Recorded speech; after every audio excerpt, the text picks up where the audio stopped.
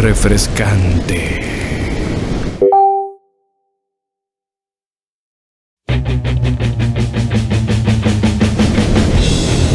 Es temporada de haters. Mantente fresco. Spray.